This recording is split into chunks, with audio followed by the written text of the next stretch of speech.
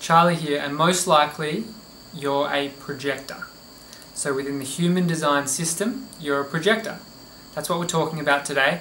I'm a projector as well, and there's actually four different types within this system. Generators, manifestors, reflectors, and projectors. So knowing about this system and working with this system and knowing that you're a projector and working with this and I'm going to give four tips how to work with your this type best can and will have a profound impact on your life. I found out about this system about probably three years ago and I've noticed as I've gone deeper and deeper and found out more I've had such incredible realizations and I've aligned my life with who I am deep down and it's made everything so much more in flow. So I really want to share some of these bits of wisdom that I've gained over the, the few years in brief that can also assist you on your, your journey. So as projectors, we need to be invited or recognized before taking action. For example, if you're in a business or something like that and you're constantly trying to make things happen you're going up to people and you're saying oh you need to do this or how about we do this? How most likely you're you've discovered that it's not really recognized very well or it's not you know there's maybe an off feeling and you're like well why why isn't anyone recognizing me? Or if you're in a boardroom and you sort of just speak when you haven't been asked to speak maybe people won't even hear what you say or maybe they won't listen whereas someone else will say the similar thing and you're like hey but i sort of just said that but everyone's like yeah yeah yeah to like another person. And it's really interesting and this has a deep this is because you're a projector and you really need to be you have to wait to be invited or recognized. So if someone says oh so what do you think? Therefore they've given you the power and the link to share your wisdom because as projectors we have a lot of wisdom and a lot of knowledge to share. But it will only be received when invited or recognized. And you might be thinking oh well that's pretty annoying. Like why can't I just go out there? And it's just the way the system works. And as projectors it's okay. We're not here to work and work and work and work and do and do and do and do. We're actually here to enjoy life and then when we're invited or recognized through synchronicity, then we actually link up and we live our authentic lives. So, four things that can really help you on your journey knowing about is number one, we're here to work part time, not full time. That's obviously difficult if we've got financial problems, we're trying to up, upkeep a family, etc., and we're working full time and just but see if you can find space for your hobby. And see if you can find more and more space for your hobby. And see if you can turn that into maybe a little bit of revenue, for example. And say if that hobby became something bringing in a little bit of revenue, you'd be living more in alignment with your true self. Therefore, life will be filled with more synchronicities.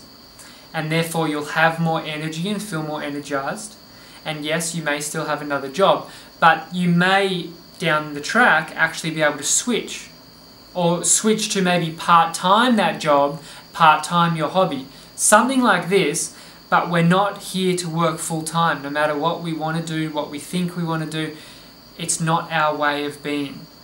So 70% of the populator, population, they're generators. And they are okay at working full-time a lot. They've got a lot of energy to burn. And unfortunately, as projectors, we've sort of just hooked onto that and we think we're the same as everyone else. So see if you can manage part-time work somehow. Number two, our aura. So the energy that we, we radiate and our external energy is our aura. And our aura is actually penetrative. Okay? Whereas a generator, 70% of the population, their aura is open and enveloping.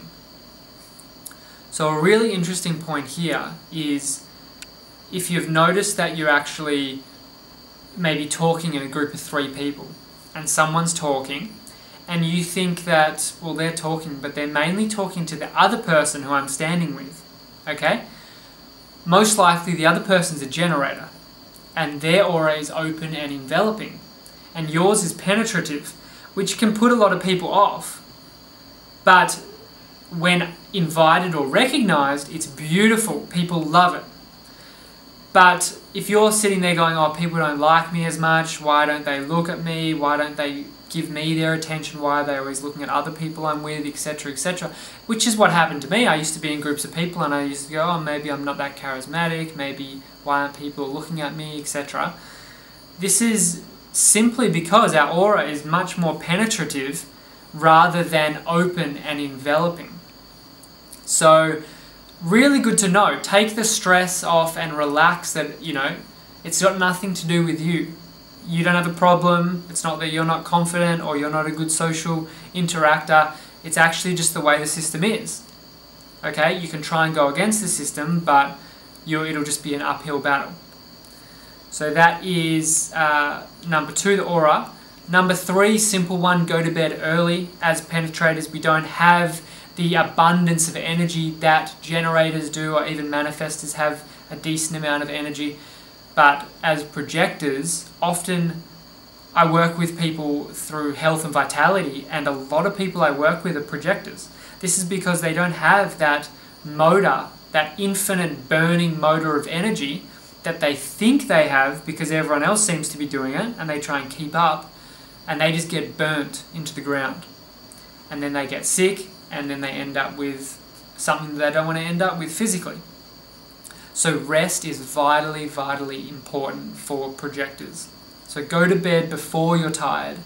If you're going to bed at 10.30 when you're really tired, try and get into bed before 10 and maybe read horizontal, start relaxing, start you know, relaxing your body, relaxing your mind. Get to bed before you're tired is very important. And number four, which I've already briefly touched on, but actually projectors are here to play. Let, that, let that sink in a little bit. Because as projectors, we've actually been conditioned to work and work and work and think and think and think. But we're actually here to play and follow our bliss. So whenever you're playing and following your bliss, you're more in alignment with your life, your true self, and therefore you'll invite more synchronicities into your life, and things will start to feel more downhill rather than uphill. So start following that, that feel good feeling. Create more space and times for things that feel good. Maybe after this video, you can literally write down five things that make you feel good. It's a great question.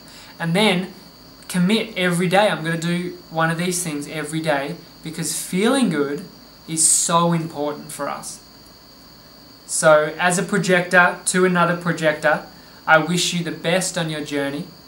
And if you like this video, there'll be more to come. So, subscribe, like, and share it. And all the best for your journey.